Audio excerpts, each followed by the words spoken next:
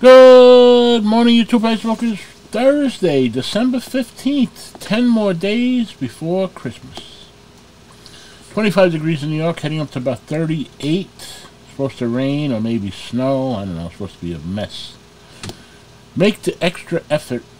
Help someone's ship come in. Say thanks often. Thanks.